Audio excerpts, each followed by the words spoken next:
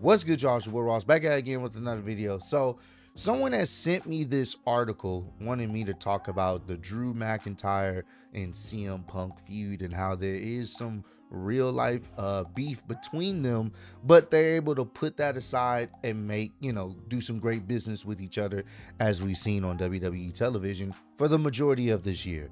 And uh, I think it's uh, Drew being interviewed and him talking about their real life issues and them coming together to tell this great story. So we're going to check this out. Should be an interesting one.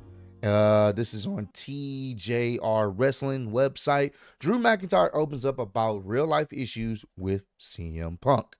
Um, when CM Punk made his return to WWE, uh, WWE at Survivor Series, Drew McIntyre stormed out of the ring and quickly left the arena. While some reports downplayed the situation, McIntyre made it clear he was less than impressed to see the former AEW star.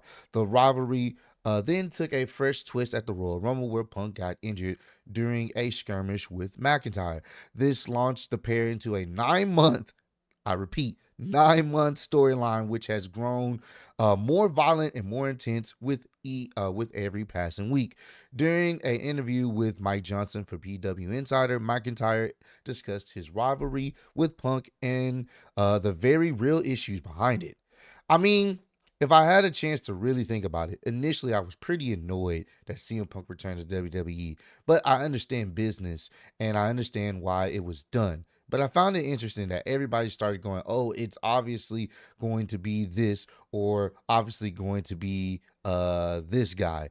I was sitting there thinking there's a lot of real history here and a lot of real feelings. So it's that's crazy how Drew kind of had an idea potentially of maybe them feuding or there was going to be some type of uh I guess you could say um back and forth between them because we all assumed obviously that CM Punk and Seth Rollins that was going to be the you know the next big feud and it seemed like that's where they were heading into that direction before CM Punk got injured but Drew kind of already had this idea like yeah you know we may end up having some type of program uh relatively soon and it happened so it's kind of interesting that Drew kind of picked up on it like yeah people think it's to be Seth and CM Punk but it, you know we have some real life issues too um so he said, I was sitting there thinking there's a lot of real history here and a lot of real feelings. I've got it. I've got, and if I get the opportunity, I know we could tell the most compelling story of all. Because no matter my real feelings, I'm still a professional, you know? He's still a professional. And we've been given the platform to show the world what we can truly do creatively. Our creative team, obviously led by Triple H, is very much you uh you go out there and you take this creative as far as you can take it you make people feel you make people believe and it's not so hard to make people believe when you truly feel what's good on screen inside and out. Um uh after Punk avenged his loss to McIntyre at SummerSlam by grabbing the win at Bash in Berlin, he looked to move on, but the Scottish star had other plans on the following episode of Raw. McIntyre violently assaulted Punk, ensuring he left on a stretcher a week later. The match at Bad Blood had been confirmed.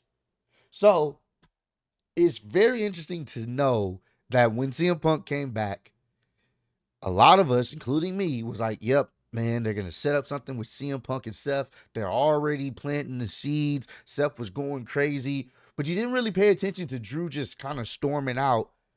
Now it makes sense. And the fact that he was like, I think we could tell a better story. And what's crazy is right now, as of right now, they're telling a better story. They're telling a really good story. Not to say CM Punk and Seth is not going to cook. We know it's going to cook and they were building to it. Right now, this has been the best feud in WWE so far, and one of the best feuds in wrestling. It's that damn good. And Drew was spot on. And the fact that he's like, despite our real feeling, my real feelings towards the guy, you know, we can do business. We can tell the best story possible because you don't know what's real and what's a work. And this is where I've said this before the best storylines, the best promos always involves a little bit of realism to the point where you don't really know what's gonna happen. You have you're you're confused. You have no real indication where does the the the the real situation begin and where does the work begin. You know, you you it, they're blurring the lines, and they have. They've alluded to it. They haven't really talked about it, but you've heard um, Wade Barrett talk about their history, and CM Punk. I mean, Drew has mentioned their history. CM Punk hasn't really said much about it, but Drew has mentioned their history in the past. So in those promo segments, that's how they really feel, and it works. It's so good. This is why I say that if you're in a wrestling business, you're not going to like everybody. You're not going to be cool with everybody. You're not going to be friends with everybody. There may even be a situation where you you may want to punch someone or you may end up punching someone. But if you're able to do business, everybody eats. Your family eats more. You may not like this guy, but if you do some business with them and y'all can tell a compare, compelling story, why not do it? They have the best feud in WWE right now and it's not even for a championship. Initially, it, it you know it was just over you know someone getting injured. Then Drew McIntyre trolling him and and being an ass and laughing at him being injured and then CM Punk doing everything he can to make sure Drew doesn't win the championship. And then it became about the bracelet that means so much to CM Punk. Like it's it's amped up, but the hatred has always been the same, but now it's intensified. We got a hell in a cell that it's deemed worthy of a hell in a cell. People are looking forward to this match and has no title on the line. You only are able to do that if you let these guys go out there and create. If you go the route that Tony Khan has done in the past, and I'm bringing them, them up because I feel like None of this, we wouldn't even have this feud if it wasn't for Tony Khan sitting everybody down in that locker room and telling them, hey, let's, I don't give a damn if you don't like this person. Let's get this going because we're going to make some damn money. We could have had one of the best feuds ever in AEW, one of the better ones. I don't know why. Turn something real into to, to a story. I, I, I don't get it if all if Tony Khan would have did his job, we don't have this legendary feud. We don't have this great feud. We don't have this because this shows all you have to do is sit some people in a room, get some shit done. He's the boss.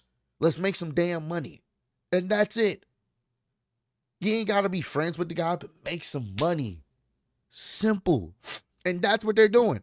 Imagine if see if Triple H was like, nah, Y'all got some real life beef with each other. We're not going to do this. Seth has real life beef with him too. Then I'm sure there's other people in that locker room that don't like CM Punk. But guess what? They could possibly tell a good story.